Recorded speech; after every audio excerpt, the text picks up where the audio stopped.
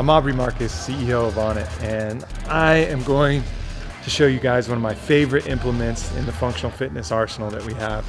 So we've become pretty well known for our custom designed kettlebells, and I wanted to take that and apply it to one of my favorite fitness tools, the mace.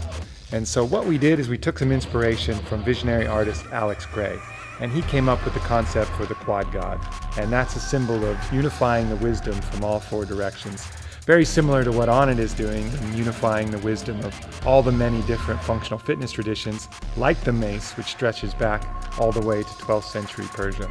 So this quad god mace is, as you can see, impeccably sculpted, like all of our sculptures, perfectly balanced. And then to make it even cooler, we added a bronze cap and a wooden handle. And then we made the handle even longer than the usual handle that allows for more leverage on your swings and 360s.